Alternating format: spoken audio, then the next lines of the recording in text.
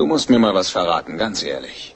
Wie ist es dir als Kind damals gelungen, aus dem Mülleimer rauszukommen? Hä? Hier den, wenn ich, ich den, wenn stellen Sie, stellen Sie sich vor, also äh,